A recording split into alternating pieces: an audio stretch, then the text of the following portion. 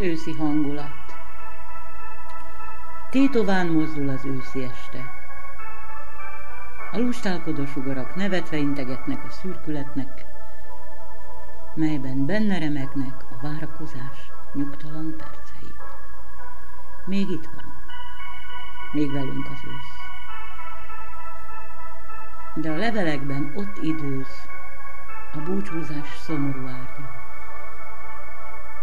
A vadgesztenye levellének újakra szabott ága már integetni kezd, de neved még komolyan.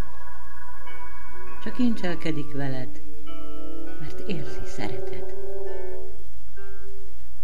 Barnán kacsingat szemembe, esőkönnyein átnevetve.